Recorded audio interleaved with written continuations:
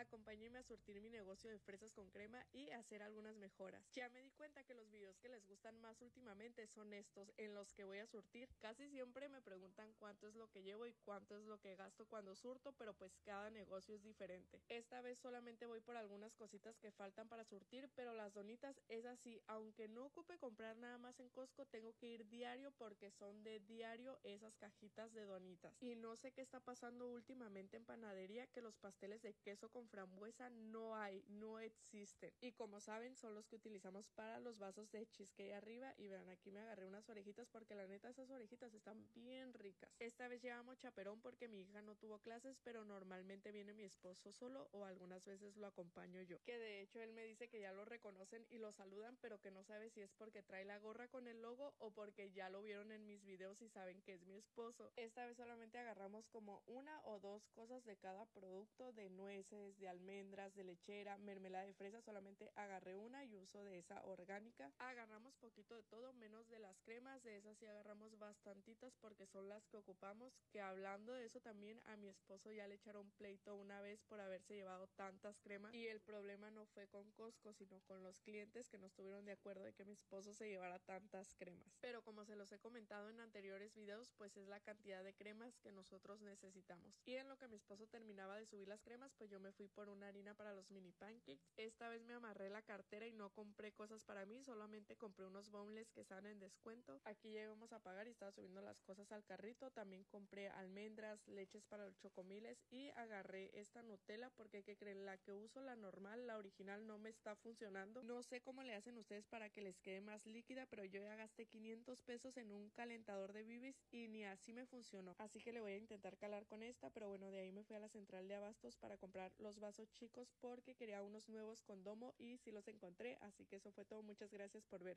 Bye.